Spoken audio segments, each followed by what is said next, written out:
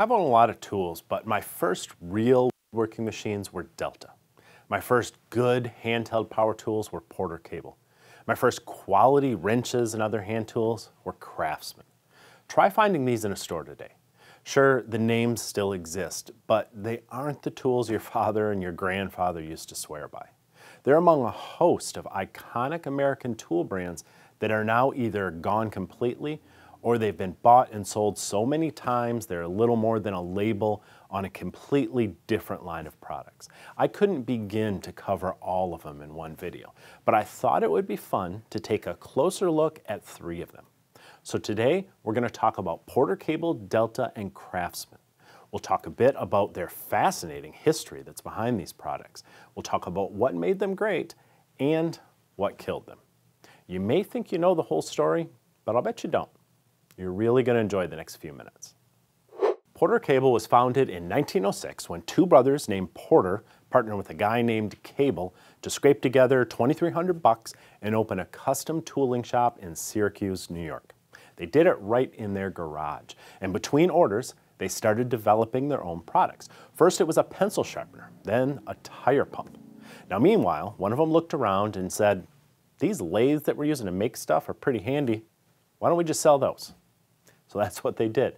And that good idea led to others. And by the 20s, they were selling other types of machines, including the Syracuse Sander. In 1926, they hired the smartest guy they knew to be chief engineer. That was Arthur Emmons, and he was a genius. He may not have been named Porter or Cable, but it was Emmons who made that company because he's the guy who invented the takeabout sander. This was a revolutionary idea at the time. He took a large shop machine like a belt sander and shrunk it down to a portable size. It was huge. But the real game changer came three years later, 1929. That's when Emmons, working for Porter Cable, released a helical-driven portable circular saw. This was one of the first and definitely the most successful portable electric saws in the world. In fact, it's the same design that most of us use today 100 years later. Now at this point, they said, maybe these handheld power tools are the way to go. So they stopped making stationary machines and they focused entirely on portable ones. They made all sorts of them, but their next big innovation didn't come until 1953. That's when they introduced the first portable bandsaw. Now I'm not sure when Art Emmons retired, but he left behind a booming business. Stainless steel tools with those cool Art Deco designs were appearing everywhere, and Porter Cable was a brand that stood for quality. Then came the 60s, and Rockwell, the owner of Delta Machinery, decided to buy Porter Cable not for its name, but for its market share. So they relocated Porter Cable's operations to Tennessee. They dropped the quality because they wanted to make a line of fairly inexpensive tools to compete with what Black & Decker was at that time. And someone had the bright idea to just go ahead and kill the 60-year-old, highly respected Porter Cable name. So for 15 years, the brand was all but dead. It only existed as a PC prefix in catalog numbers. But then Rockwell figured out maybe we shouldn't be in the tool business after all, and they sold their entire operation to Pentair, which was a company that had made everything from high altitude research balloons to canoes and even paper. Now they wanted to make tools. So they bought up the operation from Rockwell, but Rockwell said, you can't have our name. Well, rather than calling it Pentair Tools, which would sound kind of dumb, they decided to resurrect the Porter Cable brand. So throughout the 80s and the 90s, Porter Cable began to rebuild its reputation. They released the first reasonably priced portable biscuit joiner in the US, and we all know that Norm Abram immediately built everything with that. In 1989, they released the first modern electric random orbit sander, something that most of us use in our workshops today. But their parent company, Pentair, was doing their best to screw everything up behind the scenes.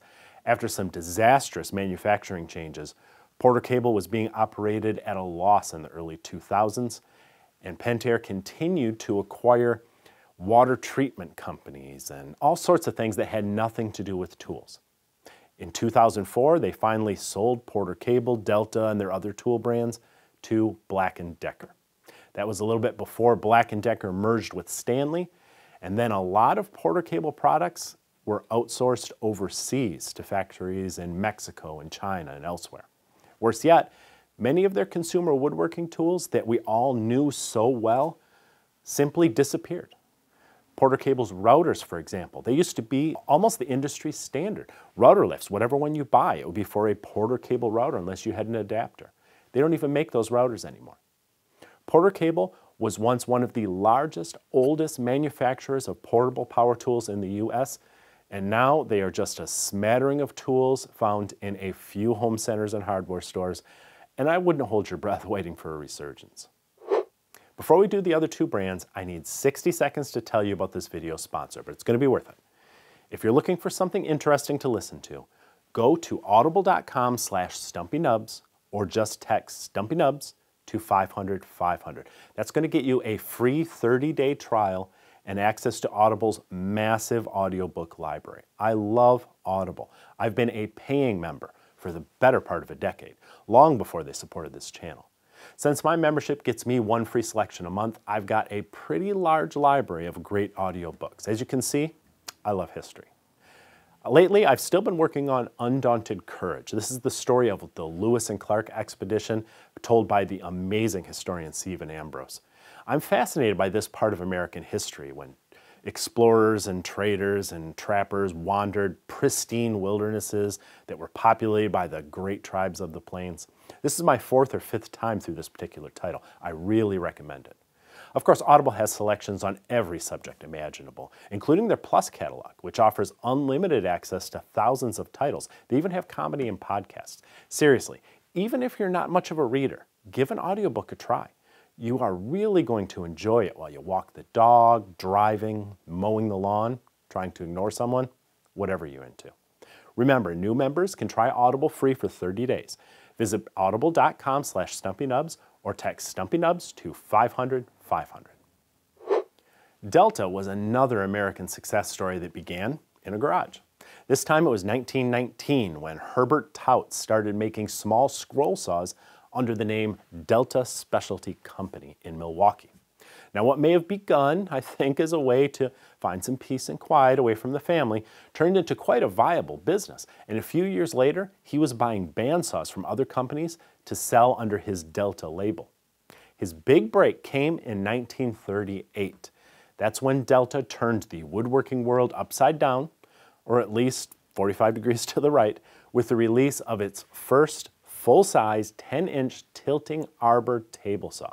It was called the Unisaw, and for decades it remained one of the best saws on the market. There's a whole cult following for old Unisaws. This is what made Delta a top name in woodworking. Now, Tautz didn't stick around to see this success. In 1939, he cashed out and sold the business to a group of three partners who a couple years later flipped it to Timken Detroit Axle Company.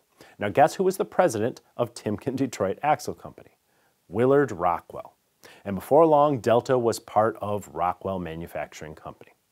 Now, Rockwell didn't kill Delta like they did Porter Cable. They continued to manufacture the tools in Milwaukee, well into the post-war years, but Willard made sure that the Rockwell name appeared next to the Delta brand on many of those machines. One of their biggest innovations of that period was the first power miter saw. It was originally known as the drop saw.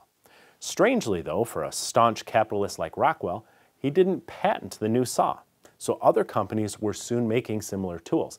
This was good for consumers, but not great for Delta's business model. Some say that the quality of many Delta tools declined under Rockwell, especially as they got into the 70s. I owned a mid-70s Delta Rockwell table saw, and I thought it was decent. But by 1981, Rockwell was ready to get out of the power tool business, and as we covered in the last section, they turned to Pentair to lead the brands into the 80s. Now under Pentair's leadership, Delta once again thrived for the most part. Some of the best consumer-level woodworking machines of the 90s were made by Delta. I owned a 6-inch jointer and a 12-inch portable planer that really got me started in the craft. And I still have the jointer over here in the corner and the planer's in the storage room. They're still running today after a lot of board feet. Everything looked great until 2004 when Pentair sold everything to Black & Decker right before they merged with Stanley to become that massive conglomerate of brands. Now what happened next is a little murky.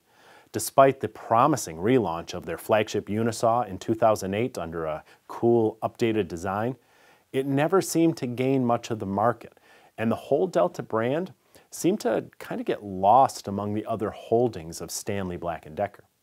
In 2011, just seven years after acquiring it, they sold Delta to a Taiwanese company named Chang Type Industrial. They had already been manufacturing some Delta products for Stanley, but they promised by buying all of them up that they would keep what remained of the U.S. manufacturing here in the USA. And the last I heard, they were still making some products in South Carolina. But honestly, I can't remember the last time I saw Delta products store shelf in my area. Now this one hurts a little bit because Delta was such a big part of my early years in woodworking.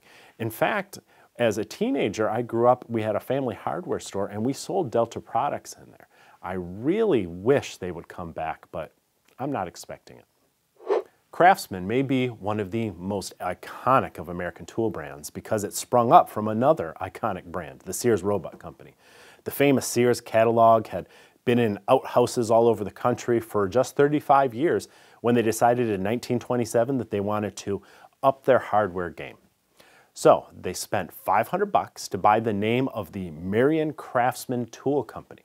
And they used part of that name, Craftsman, for a new line of hand tools. It was part of a three-tier quality system.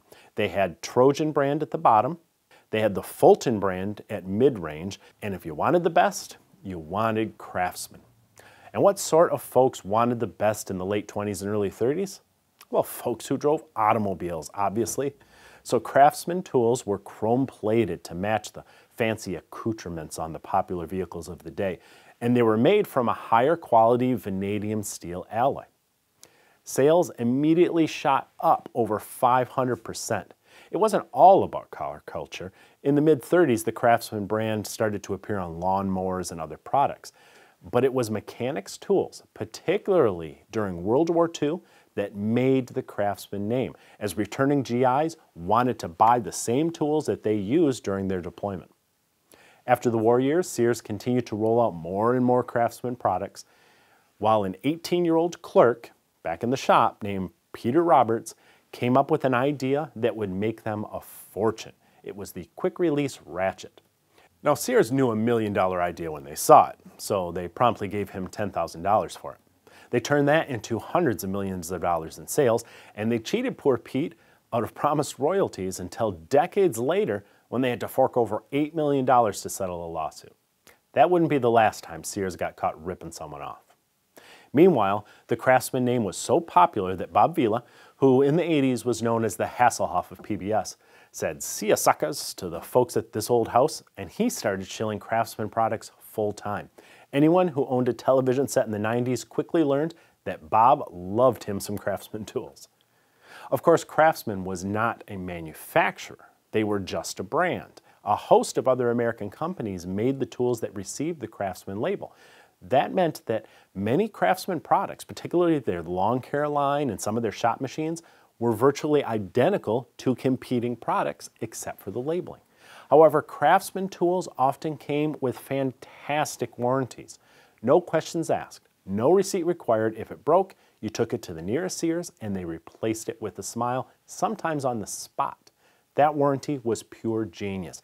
It turned Craftsman into a truly iconic brand. But all that eventually started to unravel. Throughout the 80s, Sears had been diversifying into all sorts of non-retail spaces. Banking, credit cards, they partnered with IBM. They even got into shopping mall construction.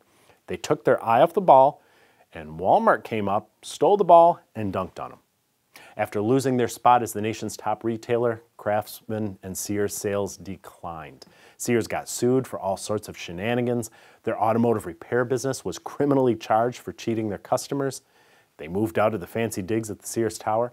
And what was left of Sears merged with Kmart in 2004. That's right, Kmart, with its bologna subs and its blue light specials. If you get the bologna subs reference, then you're as old as me. Craftsman tools on Kmart shelves didn't help the brand's image. Neither did the whittling away of the famous no-hassle warranty, which they started applying to fewer and fewer products. Many Craftsman products were dropped altogether. Customers couldn't get service. They couldn't get replacements. They were refused refunds. Kmart stores smelled bad. It was just a huge mess.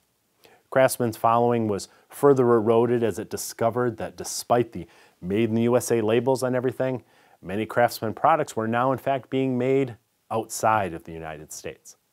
So that led to more lawsuits and over $10 billion in losses later, Craftsman was sold to Stanley Black & Decker in 2017 because apparently that's who buys every brand these days. SBD has pledged to return Craftsman to its former glory, including moving some manufacturing back to the United States. And while they do make some Craftsman products here in the US, many are still made overseas five years later.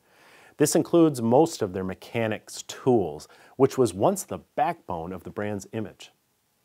Nowadays, Craftsman tools can be found at various retailers, particularly at Lowe's, but it's a shadow of the great brand it once was. I hope this one comes back. It seems like they're trying. I guess we'll see what happens. So we're sensing a theme here. Entrepreneurs with great ideas start businesses in their garages that grow to become iconic brands with great products. Then someone else tries to buy that success. But they didn't build it themselves, so they don't realize that customers are loyal to the great products, not just the name. And if they cut the quality of those products and just try to live off the brand's past reputation, they eventually end up with just a name that nobody believes in anymore.